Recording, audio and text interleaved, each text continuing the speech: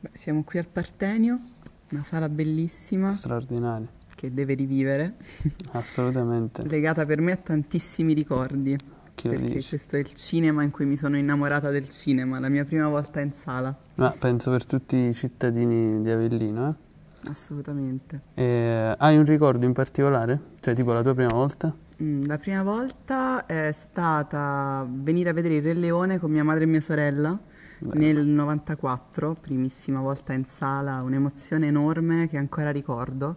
E ricordo anche il riservo nel non voler piangere perché ero con mia madre e mia sorella. E da lì è nata poi una riflessione negli anni a venire quando ho continuato con immenso amore a, a condividere la sala con tanti estranei e le emozioni più disparate sono venute fuori di fronte al grande schermo. Eh, la condivisione che hai nella sala, il tipo di condivisione emotiva che puoi avere con degli estranei davanti al grande schermo e al buio, è qualcosa di magico e speciale e irreplicabile se non al cinema. vero, assolutamente.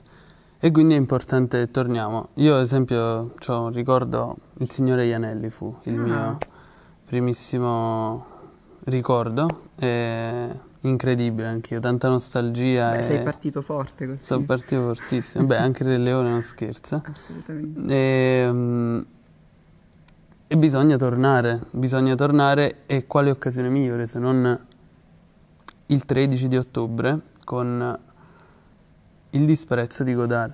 Far rivivere un film meraviglioso eh, di un maestro enorme che ci ha lasciati da poco è veramente l'occasione di tornare a emozionarsi insieme. Quindi alle 20.30 del 13 ottobre, mi raccomando, Cinema Partenio, Il disprezzo di Godard.